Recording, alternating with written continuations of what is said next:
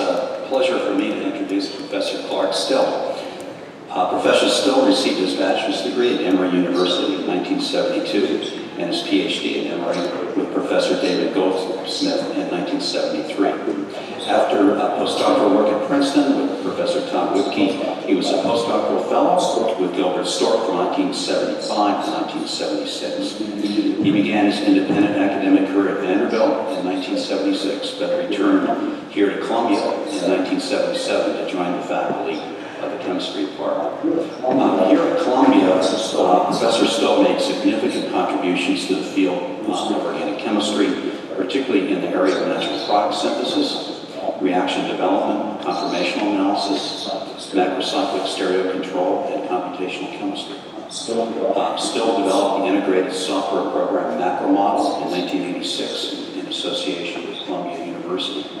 Uh, Macromodel was acquired by Schrodinger in 1998 and is now offered as a full-featured program for molecular modeling. Professor Still. Professor Still also developed methods for synthesizing chemical libraries and resin beads using molecular tags. It became the foundation for the premier combinatorial chemistry company, Pharmacopeia, which he co-founded in the early 1990s. Uh, Professor Still retired in 1998 as Distinguished Professor at Columbia.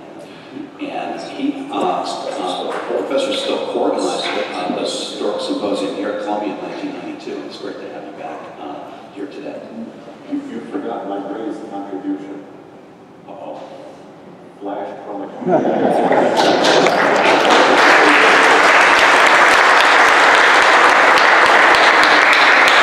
I didn't forget it, Clark. It was on version one and had to shorten it. I see. So I apologize for that. That was the short version. Okay. I've used it many times. Okay, I was, I was directed to, um, say some things, not so much about my remembrances of Gilbert, but what I thought was great about his science and what he did for, in a way, all of chemistry and certainly for all of us. I'd like to roll back to the time when he first got started, when he was a uh, undergraduate at the University of Florida. He was interested in quinine because it was the end of World War II. There were problems getting quinine. And he had also learned that one can make natural products in the laboratory, the same ones that nature makes. So while he was there at, uh, as an undergraduate, he wrote a research proposal. You can, you can see here. Uh, 20 pages of detailed analysis, hand-drawn structures, everything typed, 70 literature references how to make. I think he even tried to start in the lab. Didn't exactly work out, but he, uh, he moved ahead and, in fact, eventually it did.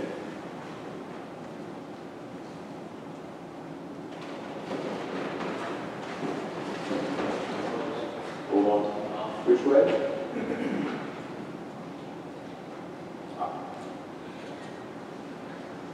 When he was a when he was a, uh, a graduate student, I'm not really sure what his project was, but I think he did some submarine work also directed toward quinine. And one was to make this fairly simple compound here uh, with the uh, two cis attachments on the piperidine ring. In those days, as I show up here at the top, according to Stork, people really didn't pay much attention, this is in the 40s, um, to uh, how to control stereochemical control. So he did this as a model reaction, which he published.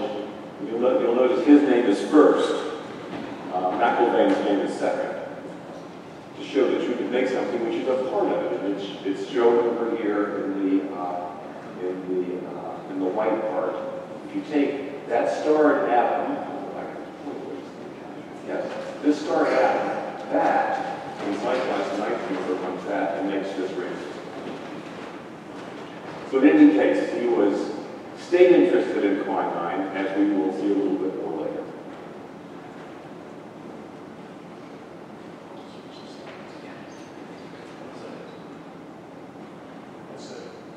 Okay?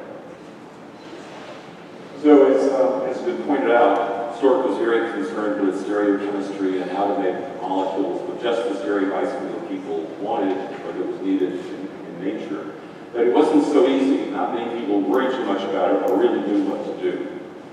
He chose a very simple compound as, a, as an example, cantharidin, and he made it by Diels-Alder reactions, and it specifically produced only the right stereoisomer. This is, this is uh, uh, I guess it's probably, I assume it's, it's, it's DL, but it gives only the, the cantharidin structure. Obviously hard to get much more than this because it's pretty strange. This was the first example of um, a uh, synthesis, stereospecific synthesis designed of a natural product. Should also, he noted later sort as you see down here, that Sarett Burke almost just a year later, the first stereoselective synthesis of a complex natural product that is cortisone.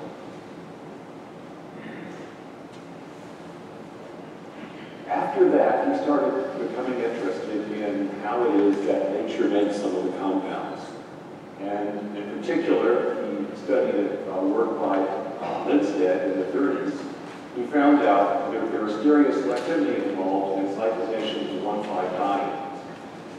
In connection with work by uh, both in his lab, also they came up with a, with a concept called the Stork-Eschenmoser hypothesis, that there is a stereospecific anti-parallel addition of arginines to an alkene.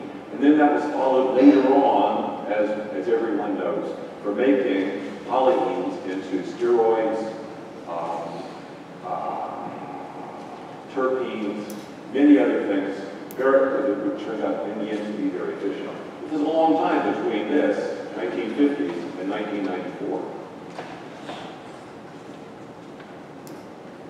About the same time, Stork uh, at Columbia with Burgstahler made some proposals about how one can get things like tricycloterpenes and steroids from squalene. This is just a picture from one of his papers from 1995. You may see this as as a terpene example, or cholesterol or aldosterol down here as a steroid example. Now, this is an interesting structure. I've seen, seen pictures of Cedrene and Cedrol all around the place. In fact, there was some out, out in front. Realize it, it turns out that Stork and Breslow proposed the structure of Cedrol. They didn't really know much about it, but they had a, they had a connectivity. They didn't really have a stereochemical proposal. So the proposal was in the, in the journal for about a year, journals, and then Stork and Hill in 1950, sorry, Stork and uh, Clark in 1955 did a total synthesis of both of these things, and in doing that established that the structures that were proposed by Breslow and Stork were correct, but also what the stereochemistry of Cedrol and Cedrene were. Later on, uh, he went back to other things like alkaloids, uh, total synthesis of alloyohimbine, and then later on, I say, 15 years later, he made yohimbine itself, which is, which is this molecule. Among the natural products work that he did in the 60s were uh, a number of alkaloids and also things like um, uh, steroids down here at the bottom. Particularly, Stork tended to produce a method that he was really interested in. Generally a new method, and that method would be used to create one or maybe lots of different examples with the same methodology. So these are just a couple of examples of fairly complex uh, alkaloids. And then this one was interesting because it used the so-called isoxazole annulation method, where this moiety, which is a kind of a masked 1,3-diketone, could be used and opened up and put together to make large polycyclic systems like you see here for progesterone. Um, one of the things which I think was for a long time the hallmark of Gilbert's work was the fact that he liked to create stereochemistry through an alpha-beta unsaturated carbonyl system.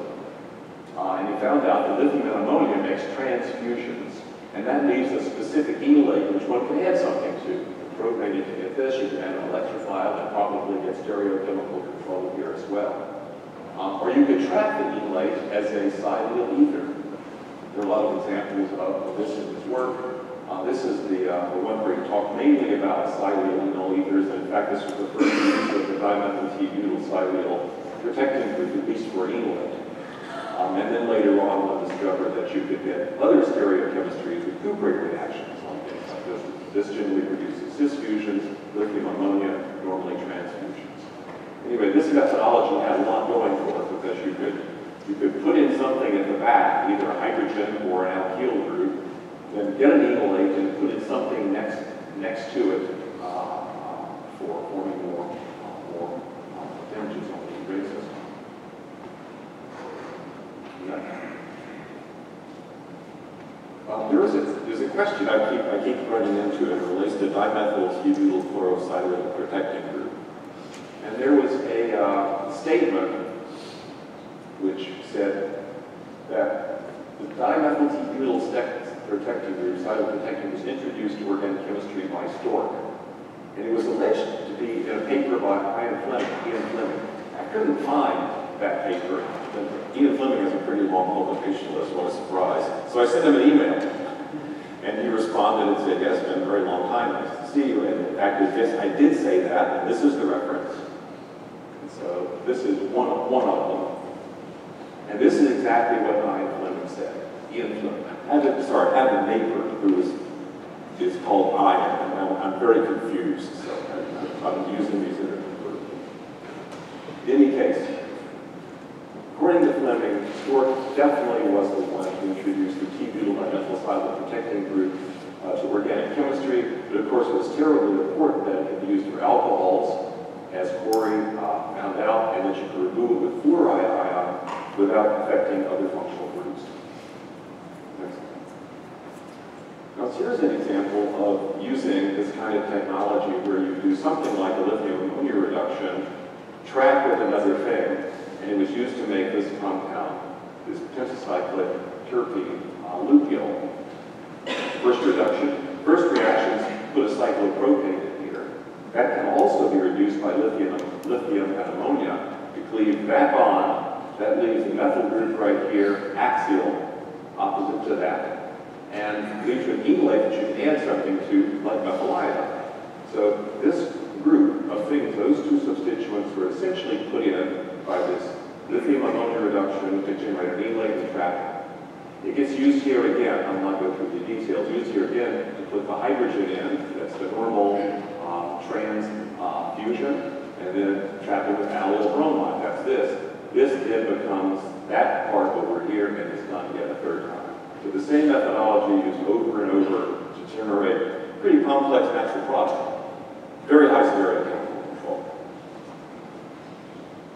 It was also used um, to make prostaglandins. There was a time in the 70s when prostaglandins, as, as we all remember, were very popular to make. Gilbert did a number of these things. Um, one of the neatest ones, I thought, was the one down here. It starts with diglyceraldehyde to get that chiral center. There's then a, a Michael reaction where you add an enolate or add the cuprate of this to give the uh, to give to give the, the beta substituted carbonyl compound. This ends up on the more stable side, which is opposite from that on the 500 ring. The interesting thing is because Stork was associated with Syntex at times and knew some people there like Carl Bunch, he knew there was a way to, stay, to take a olefin, the wrong stereochemistry, and convert that to a trans olefin with the right stereochemistry. So it even turned out that in this particular case, if you made a cuprate out of this, even if it's not stereo control, it's just racemic, only one of them really reacts well. And that's the one that gives the right stereochemistry for prostaglandin, uh, e E1. Now, this is a papers. I don't really am going over my time here, but this is just a couple of papers which I think is spectacular. Scott Rychnovsky, is he here today? Oh, yes. You're obviously going to remember this. Developed a method, and there's a two-part, there's a two-paper back-to-back JACS communication set. One in which he shows that you can take all the possible biased carriers of this little butylamide, and that they can then be put together to extend it to make a new butylamide, and then do it over and over. And that basically was done by Rychnovsky uh, in the second JACS communication to make uh, the erythromycin ring system. For one person doing all of this all by himself, except for Gilbert, who is not known for working well in the lab, uh, pretty, pretty amazing. I thought this was spectacular. Um, he also did a lot of free radical cyclizations. I'm, I'm not going to spend a lot of time here because I, I am, running over, but just to point out, free radical cyclizations are not really used that much in chemistry, but Stork found out you could do things like kick off a free radical cyclization here. That adds to the double, the triple bond, leaves a free radical there, and that adds to here. So this, all of these rings are zipped up by one free radical cyclization. Another one is here in, uh, the conversion of the cyclopentenyl derivative to prostaglandin F2 alpha. Uh, we also use the same idea to make delsamine. I'm just going to just go by. The point is, he really creates, creates reactions that other people didn't use very much or know much about. Find out what they can do and then use them over and over. And the neat thing about these free radical cyclizations is many times you can make several rings in one, one go. Finally, the uh, germine, uh, his last paper, last project, um, huge amount of work. Uh, it, it was going on for, for many years, but I- Ayako Yamashita obviously had to make the whole thing work, do the finished part, and have to go through the whole synthesis herself to get enough material.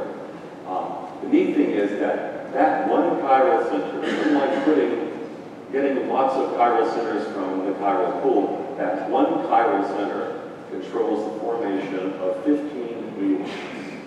That is an unbelievable, an unbelievable, amazing thing. Unfortunately, by the time they got to the end, were running out of material, the compound they had had an extra methylene right there. This really ought to be an OH. Uh, so there's, there is a statement by Stork, you can see it down here, where, where it explains why, why exactly this he didn't finish and get rid of that. Get rid of that. Could have, could have done it if he had more time. In any case, I just want to show one more slide and thank the people who have helped me. Uh, Mayako told me a lot about the uh, germine work. Um, I've known her for many years. Ian Fleming um, helped clarify the issue about dimethylbutylsilyl cuprate. And I believe this man, Noah Burns, I think he was a, an undergraduate here. And he worked with um,